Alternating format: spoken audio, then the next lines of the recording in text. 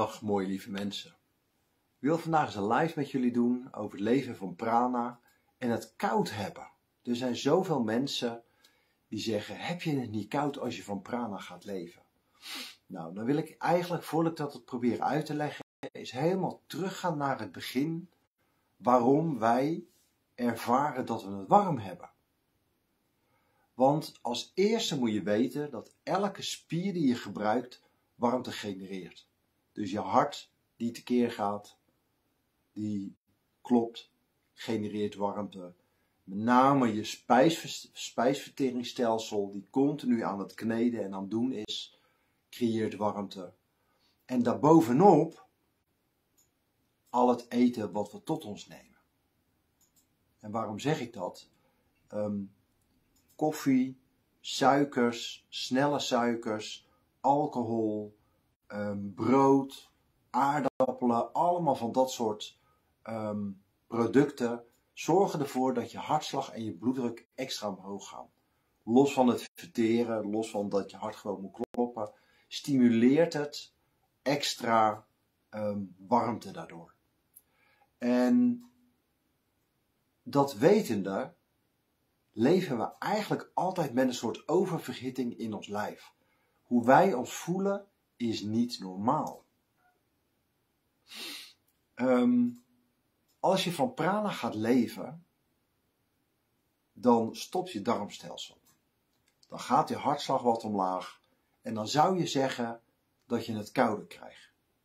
Nou, over het algemeen is het zo dat als je van prana leeft, er veel meer energie door het lichaam heen stroomt. Mijn lichaam en mijn hoofd zijn altijd oververhit. Mijn handen, mijn voeten, mijn neus en mijn oren voelen altijd koeler aan en die zijn eigenlijk de normale temperatuur. Dus moet je het koud hebben als je van prana leeft? Zeker niet.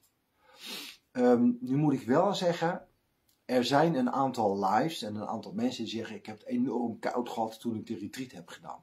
Dat klopt. En dat was in de, op de oude manier.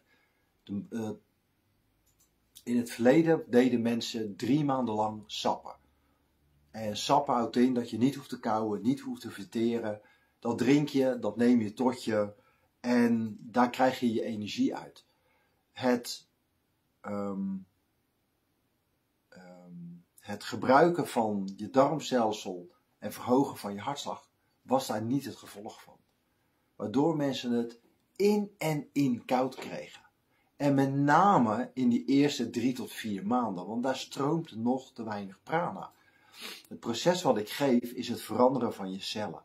En als je cellen gaan veranderen, wat een jaar duurt, um, heeft dat tijd nodig. Tijd nodig om meer conditionering uit je cel te laten stromen, waardoor er meer prana door je cel kan stromen, waardoor er meer energie tot je kan, tot je, uh, door je opgenomen kan worden.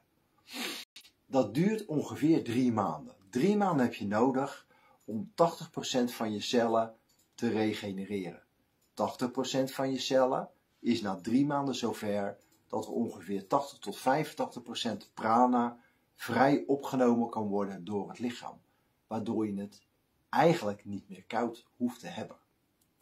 Het nieuwe proces wat ik nu geef is, je gaat naar de retreat, daar activeren we de transformatie, dus het aansturen van je cellen tot de verandering en ook je DNA trouwens. En daarna moet je gaan eten. In plaats van sappen. Want wat er dan gebeurt als je blijft eten, dat is het trainingsprogramma om onze grootste verslaving onder controle te krijgen dat je het A warmer houdt. Want je darmen blijven werken, je hartslag blijft wat hoger en je gaat wennen aan een ander voedingspatroon. Je gaat je voeding onder controle nemen. Nou, als in de loop van die drie maanden er meer cellen geregenereerd zijn, dus veranderd zijn naar een pranische cel, er meer prana stroomt, kan je na drie maanden je eten wat gaan minderen. Terwijl je het in die eerste drie maanden eigenlijk nog niet kouder hoeft te hebben. Want er gaat gewoon nog eten in. Na die drie maanden kan je wat gaan minderen met je eten en ga je meer experimenteren met prana-dagen. Voor 90% van de mensen, misschien wel 95% van de mensen, heeft het tot gevolg dat lichaamstemperatuur ietsje omlaag gaat, maar niet meer zo ver dat je tot op je botten toe koud bent. Dat komt eigenlijk weinig meer voor. Met uitzondering van 1 op de 100 die dat nog steeds ervaart en dat is echt het proces van loslaten, want die komt dan de kou in zichzelf tegen. Er zit eenzaamheid, er zit kou, er zit verdriet, er zitten trauma's achter. En ook die stromen in de loop van dat jaar vanzelf van je af. Niemand die dit doet, blijft het constant koud hebben. Dus weet dat, kou hoeft niet een onderdeel te zijn van het proces, dan wel het leven van prana. Ik heb het namelijk altijd warm. En als ik het heb, hoeven jullie niet anders te zijn dan dat ik heb. Jullie lichaam, jullie leven is niet anders dan mijn lichaam, mijn leven. Als één persoon dat kan, kunnen we het allemaal. Als ik het warm heb, kunnen jullie het ook warm hebben. Nou, ik hoop je weer wat antwoorden meegegeven te hebben. Voel je dat dit proces leven van prana, de vrijheid die dat geeft, iets voor je is? Kijk dan even op de website bramonminor.com. Daar kan je een weekend vinden, daar kan je een vijfdaagse vinden, die allebei de weg naar Pranic Living zijn. Dus het, het onderhouden van je lichaam met energie. Het warm houden van je lichaam met energie, om even op deze topic te blijven. En voel je dat, kijk even naar de datum, schrijf je lekker in, doe lekker mee, want gun jezelf deze onwijs mooie transformatie en vrijheid. Dan wens ik jullie een hele fijne dag en hopelijk tot snel. Satnam.